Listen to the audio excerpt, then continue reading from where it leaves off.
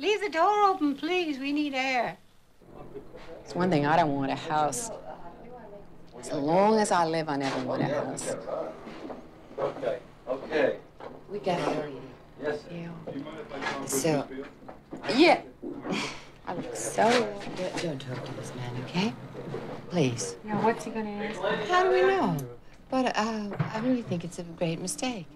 What? Just say we want our privacy, and uh, I never had any privacy in my whole life. I never even had a tell room of my own you and my own private time. brings. By God, you see I can't me. miss this plane. If I'd had a minute. There is no talk of moving. I think the threat of eviction is over.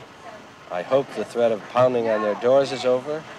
And I hope that the large number of people who come by and stare and gaze at this property will now begin to respect the privacy that belongs to them. Yeah, we're going right now. You see it? We'll be seeing you. Bye. See you next week. Okay. Bye. Bye, Bill. Goodbye, Bill. The old fool. I think it's very cruel to bring up the past.